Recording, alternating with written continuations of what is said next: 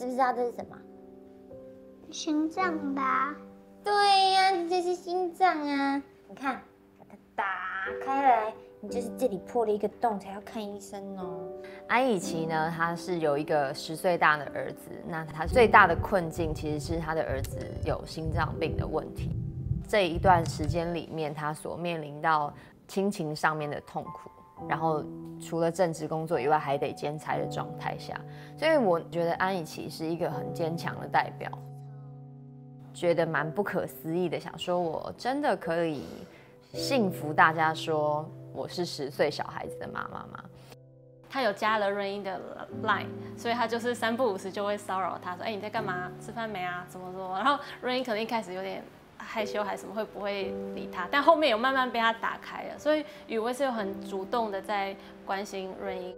第一次跟白润英见面，保持着很像是小孩子跟小孩子之间的关系，跟他玩在一起。我觉得好像有一种就是，嗯，我们有时候可以互相欺负，要哭可以一起哭的那种感觉。我觉得那个跟家人的感觉更贴近。弟弟，那你姐姐叫什么名字？安以琪。那先生，你找谁？呃，安以琪。其实王博翰他就是一个音乐制作人，因为一首歌版权的关系，所以跟雨薇一起踏上了这个寻找版权的路。是你说不管用什么方法都要找到版权的啊？说的是方法，不是叫你违法。其实他就是一个傲娇的人，就是他其实心里是暖的，但他不敢表现出来。小屁孩。但。呃，我觉得伯杰的诠释让他更有温度、更可爱。知道他有小孩之后，知道他这么为了小孩这么努力，然后一点一点被他打动。啊，日记。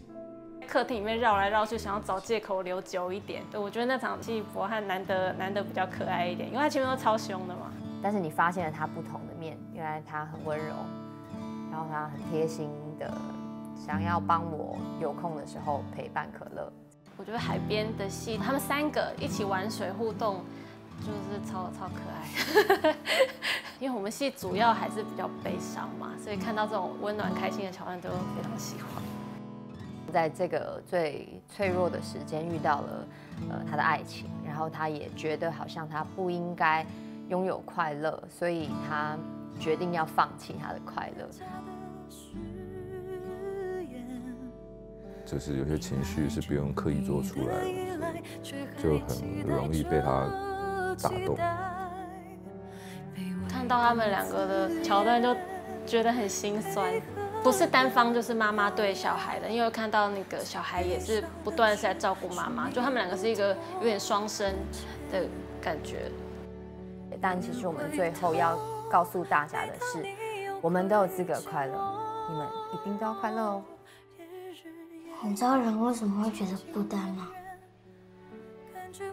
那是因为你生命中最重要的人还没住进你心里。